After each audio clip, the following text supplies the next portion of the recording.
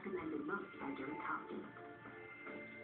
Starkist turned her microwave into a seafood restaurant. It's new Starkist Sensations Atlantic whole whitefish fillet steamed in a gourmet sauce. As good as fish from a restaurant.